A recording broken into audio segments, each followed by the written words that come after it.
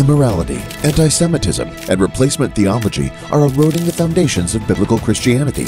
HaYovel presents the Heartland Connection, where Christians are equipped to walk out the truth in God's Word and to support the land and people of Israel. Shalom and welcome to the Heartland Connection. Today we have a very special program we're going to be talking about Tisha B'Av, the ninth of Av. We have Rabbi Yonadav Zar here with us to teach us today. Welcome, Rabbi Yonadav. Shalom, Zac. All right, so we'll start off with the basics. Rabbi Yonadav, what exactly is Tisha B'Av? What is the ninth of Av? Okay. We, like everyone here is know, uh, we have we had temple on the Mount Temple in Jerusalem. That we built 480 years after the Exodus. Mm-hmm. Our King Solomon built it, and it's supposed to bring the blessed to all the world, to put in the focus, in the middle of the world, the holiness, the worship of God. And 410 years later, there was a destruct- destruction of this temple hmm. on the 9th of Av. Mm-hmm. And again, after 70 years, we built the second temple. Mm-hmm. And again, after 420 years, was the destruction of the second temple on the 9th of Av, Tisha B'Av. And we uh, rel- relate, we remind it every year in this uh, day on the calendar, the, the, the day of the destruction. And it's not only mourning, mourning, Morning. Mhm. but also a reminder that we have to build it again. And every year that we didn't build it, we it's like it's distracting our days again and again. So, just to make sure everybody understands, Av is one of the months on the Hebrew biblical calendar, That's right. and the it's fifth the, the month fifth month. since Nisan, since Passover. Uh-huh. So, so we, uh, on the Gregorian calendar, we might get confused because the first month is in January, but on the biblical calendar, it starts later, like or somewhere around April, will be the first month, and then so on the fifth month. So that's why uh, now we're coming up. We've entered into the month of Av, and the ninth of Av will be this coming uh, Sunday. That's right. Uh, will be the ninth. Uh, so just want to make sure everybody's on the same this page. year, with this year that's it's this year. Sunday. Maybe comment on the months. Uh-huh.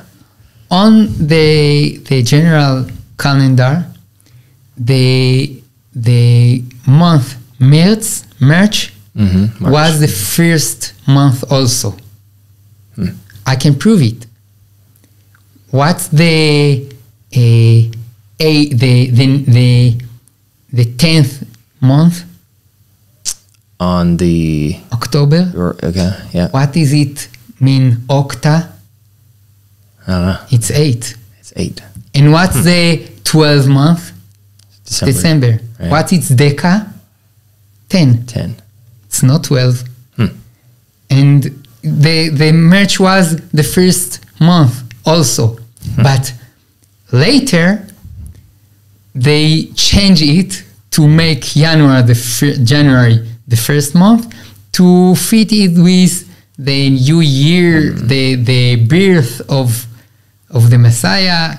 Uh. so it's it's not the origin calendar. The Uh-huh. origin is like in the Jewish calendar Hmm. that March is Nisan is the month of the um, spring. Mm-hmm. This is the first month of the year. So the fifth Hmm. Very interesting. month is Av. Uh-huh. Okay. Huh. Is equal to May. Mm-hmm. Not to May. Sorry, not to May. The fifth is uh, Ju- July. July. hmm Was. Right. Uh huh. Yeah, that's really interesting. Yeah, thank you for for pointing that out. It's really interesting. Calendars, if you go back and study, it's very interesting. Like the lunar calendar versus the solar calendar, and the mix between, and it's a very interesting uh, study uh, on all of that. Um, maybe one day we can do a do a, a video just just talking about those things too. That would be really great. Um, so on Tisha B'av, if you've mentioned both temples were destroyed on that very same day. So it's a very very sad day, a day of mourning. Um, so how do you how do you mourn? How, what are the customs of uh, Tisha B'av? First of all, we we feast, fast, Fast. fast in this day. We don't eat and don't drink and don't wash, don't wash, and don't uh, use our uh, shoes, and also um, don't uh, make a, a, a together wife and husband. Hmm and uh, also we sit on the earth in the synagogue and read the lamentations scroll and read um, a newer lamentations that's written by the generations to mourn our destruction. So in the synagogue, everybody would sit on the floor.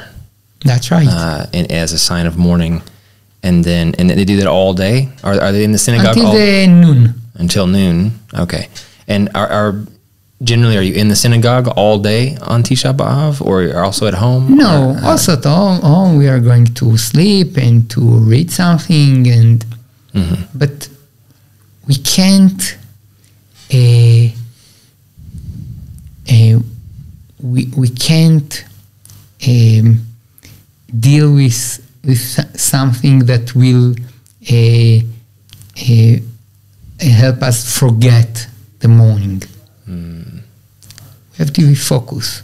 If we read books, it's books about the destruction, about the exile, mm-hmm. to to feel the the problems of the exile.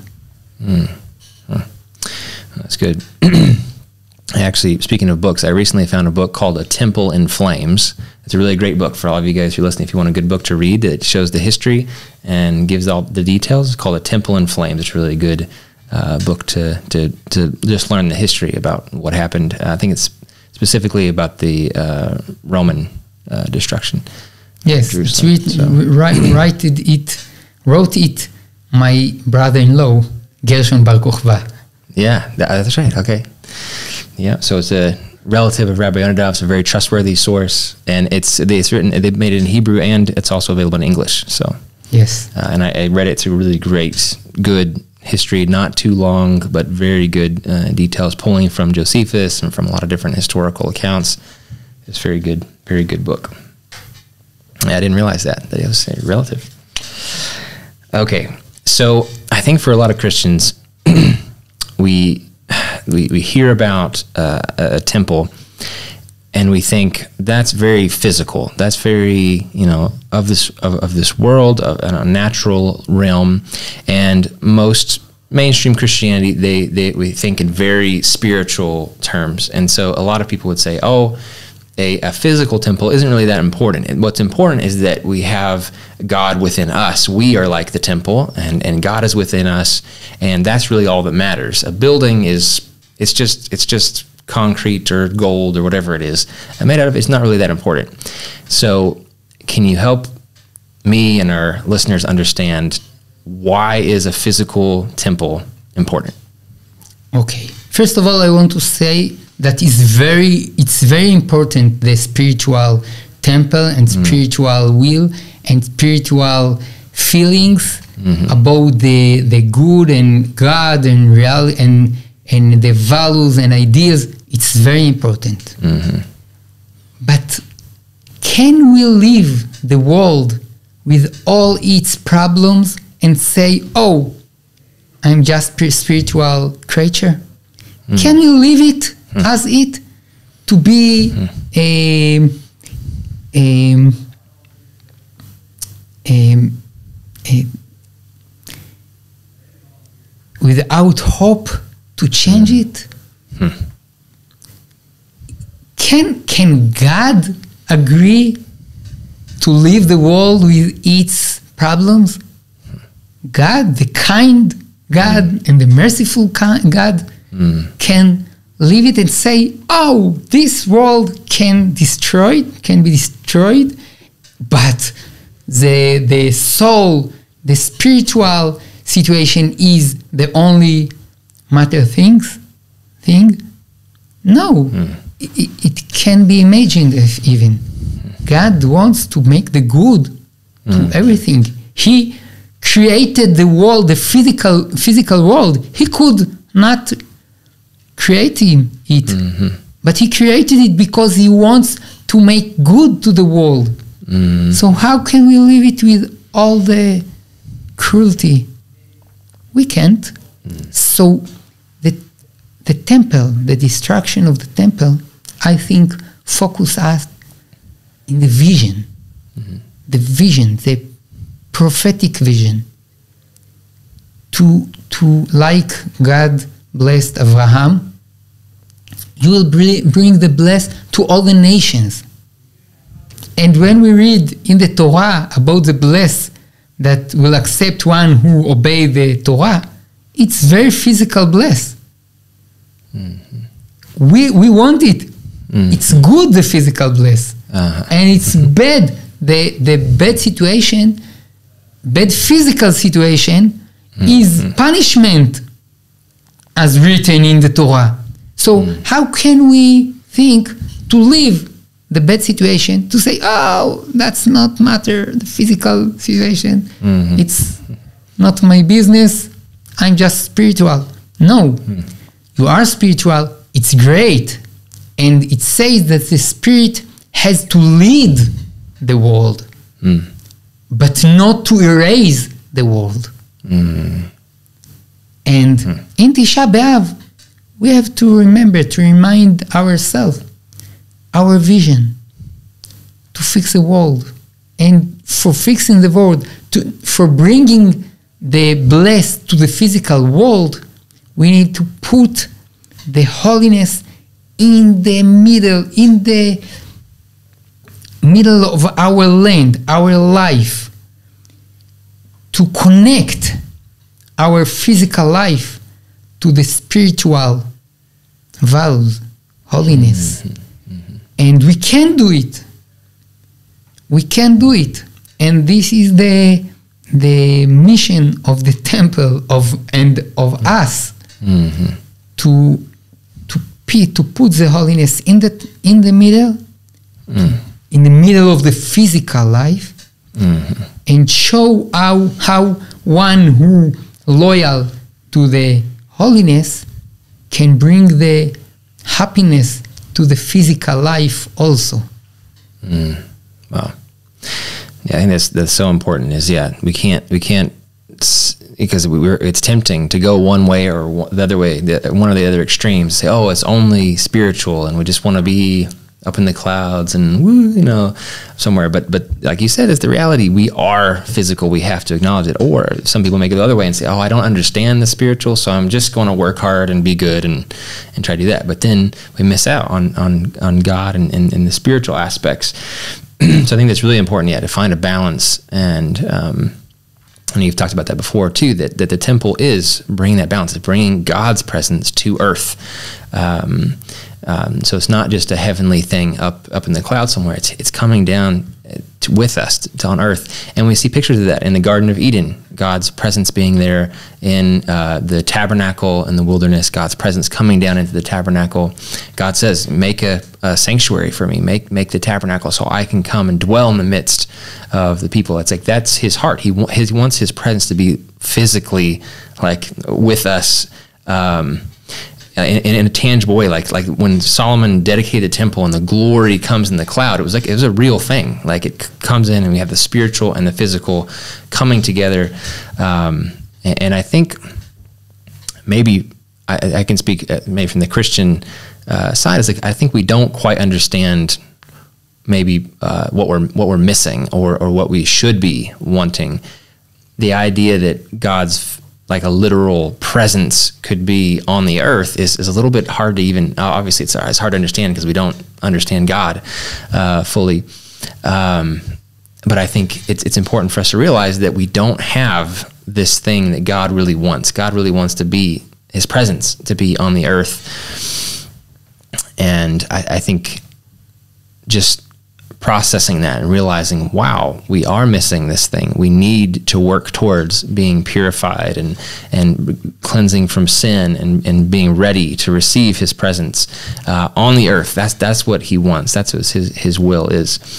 Um, and so, being here in Israel and, and being on the Temple Mount and learning from the Jewish people, it just those things become a little bit clearer. Like, wow, that is the ultimate goal for us to be able to worship God, for His presence to be among us um, and for Him to enable strengthen us to overcome sin and death and those things. It's like wow, that all just makes so much sense. That this is the big vision uh, that we're all um, working towards and, and wanting to uh, see happen. So, um, so you're saying that the the we want to see the temple rebuilt and I agree with you. I think that's that's what we want to see. Not to see only, to rebuild it. To to do it, to see to it happen, it. to to rebuild it.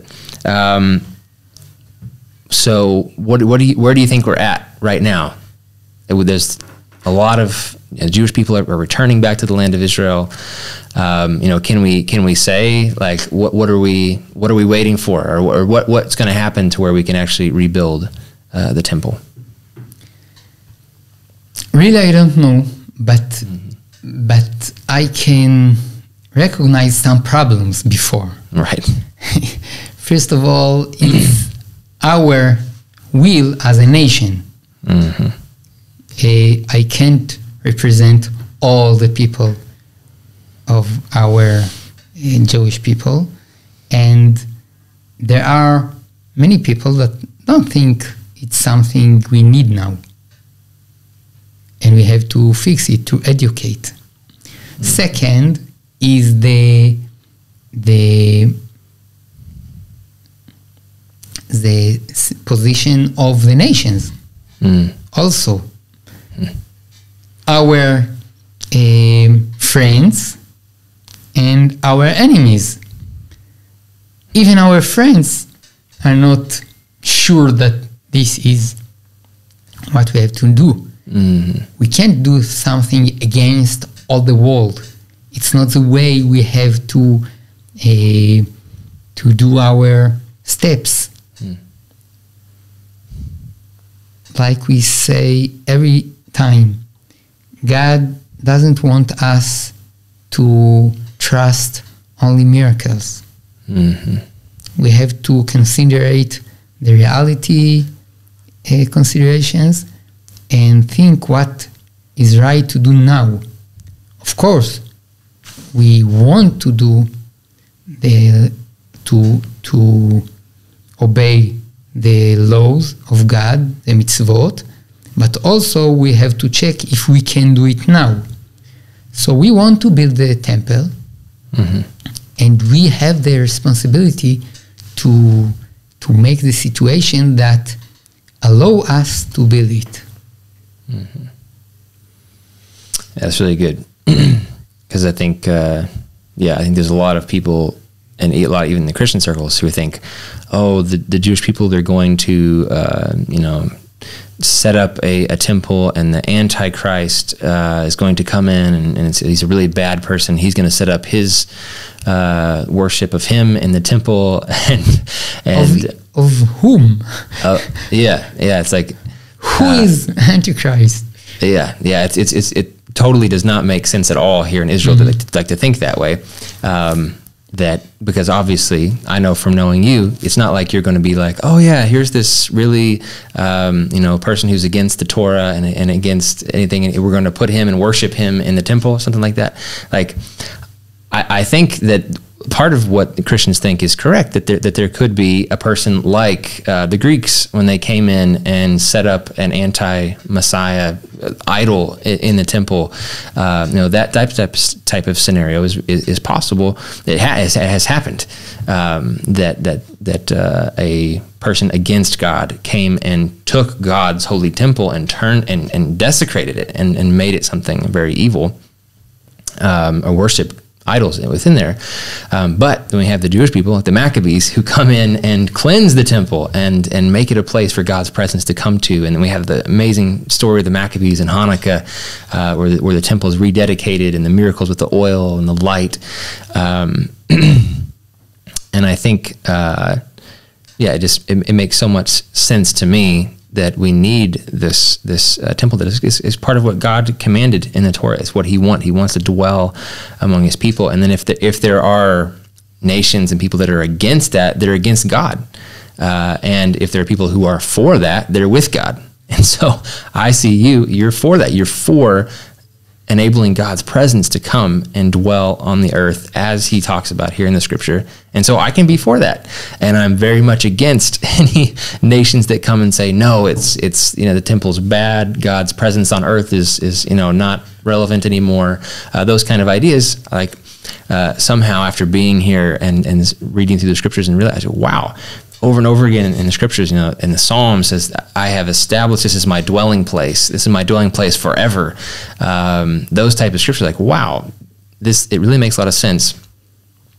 And the whole idea that God has chosen Jerusalem and Mount Zion as the central place for his presence to dwell and then for that message of light to go out to the nations like that, the whole thing, it just makes so much sense after being here and seeing it and then reading the scripture and go, whoa, okay, that's what that means. Um, and, and like you said, the big vision of, of, of, of um, Israel being the place where God can come and dwell and that light uh, to go out. It's such a beautiful picture. Um, and the temple is a very key part of that beautiful picture that, that needs to happen. Now, do you have any thoughts? We, we, we have a phrase that says to Titus, mm-hmm. distracted house you distract. Mm-hmm. Because the temple, sometimes someone can think that temple is a, from itself the, the mm. the resolution to all the problems in the world. Mm-hmm. And it's not true mm-hmm. because if we lose the vision and if we don't use the temple as the the center of the holiness in the world, mm-hmm. but as a place of uh, worshiping, technical worshiping God, mm-hmm. it will distract it. Mm it's it's like I said uh, former that earlier that spiritual is very important. The physical situation has to mm. reveal the spiritual mm. situation, and if it's become just technical existence of the uh, physical mm-hmm. building, it's nothing Mm. It's distra- distracted before the Romans came. Mm-hmm. Mm-hmm. That's a, that's a good point. So basically, what you're saying is, on some level, if if the spiritual and physical aren't connected, then it's not fulfilling its purpose, and it is just a building. That's right, um, and that's why we read lamentation, Lamentations. Mm. We mourn not only the distracted destruction of the physical temple. Mm. We mourn also the losing of the vision of the spiritual temple. Mm-hmm. Mm-hmm. And God's presence uh, in, in the temple. Yes. Mm-hmm. Wow, that's really good. Um, so, one more question.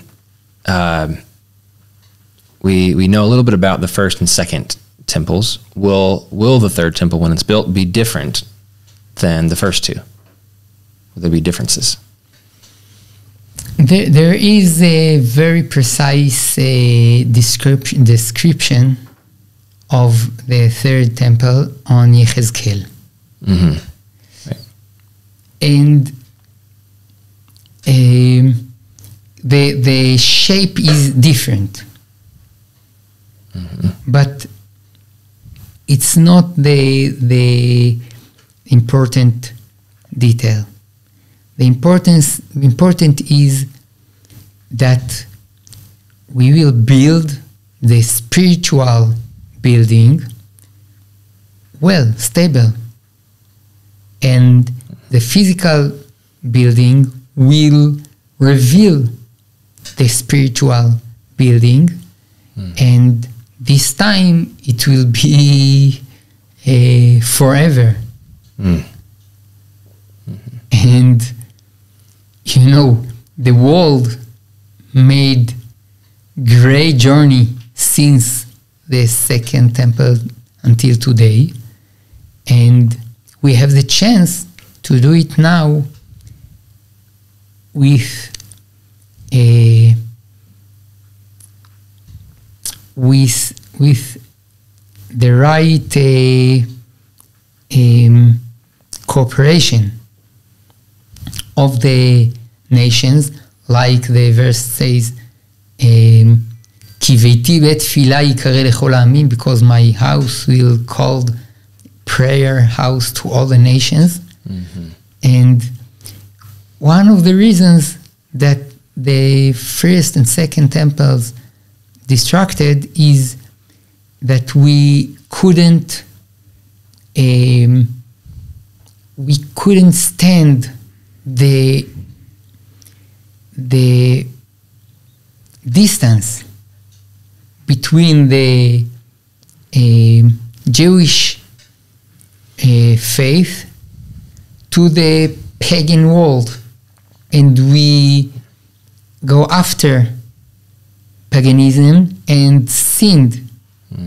And now the world is much better, and the belief is uh, uh, more pure of all the nations. Even the pagans are less pagans than they were on the uh, time of the second temple. And we can uh, hope that this time it will be the right way. That's very good. All right. Any any last thoughts on Tisha B'av before we wrap it up? Maybe we, we have another uh, phrase of the rabbi that if the nations would know all the bliss that the world accepts from the temple, they would not destroy it, but help to build it. We have to to educate and to uh, spread the message to the nations that the building of the temple will help all the nations to build their families, to educate their children, to improve their um act in the world, the economy and the professional and everything will be better, will be precise and a great bless can come on all the world if we just build the temple the right way and the right meaning mm. in physical and spiritual. Mm. Mm. Wow. I mean, wow, this has been a really, really great discussion. Thank you so much, Rabbi Yonadav, for giving us insights into this and helping us understand the importance of the temple and, and what the Jewish community is doing and what we can do to join in with you. Really appreciate you taking time to do that. And I also want to say to all of you guys who are listening and, uh, speak to you Christians because I think this is kind of a very um, out of the box, definitely not a mainstream Christian idea that the temple would be important. Uh, but I encourage you, dig into the Word of God, study it. Um, we also have a book that one of our staff members, uh, not my brother-in-law, but my brother-in-law's brother, uh, wrote a book. Benjamin Hilton uh, wrote a book called "Jesus Loves the Temple." And if you're a Christian and you're like, how in the world can you, Zac, as a Christian, be sitting there saying that the temple should be rebuilt. And I strongly encourage you uh, to read Ben's book. He does a great job of going through and explaining from a Christian perspective why a temple in Jerusalem is important. So I strongly encourage you to read that book and just and read the Bible. Go and look up the temple and God's presence and the tabernacle and these things. It's it's it's all over the scriptures, uh, talking about this vision of having God's presence dwelling in Jerusalem and and that light going out through Israel and out to all the nations. So I encourage you to dig into this and uh, and study it. It's it's amazing, amazing thing to to learn about. And I think that's what we all desire as followers of God. We want His presence to be in our lives. We want His will to be done through us. And I really believe this is one of the big areas where, where us as Christians need to align ourselves more with God's will and His ways. So thank you for taking time to uh, to listen and, and to be part of this study together and discussion with Rabbi Yonadav. Really appreciate you joining us today. If you have any feedback on this or questions about what in the world are you talking about in that place, whatever, you can send me an email at zac at hayovel.com. Would love to talk more and, and uh, talk more about this very, uh, I think it's, it's, it's an unusual topic within a lot of Christian circles. So if you have questions, feel free to send me an email. Would love to hear from you guys. Thank you so much for joining us today, and may God bless you out of Zion.